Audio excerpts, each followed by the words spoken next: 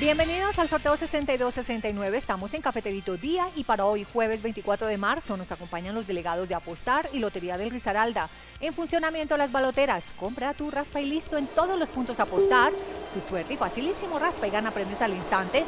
Son más de 34 mil millones en premios. Y ahora, atentos al resultado, gana el número 3, 7, 6, 3. Verifiquemos juntos el número ganador.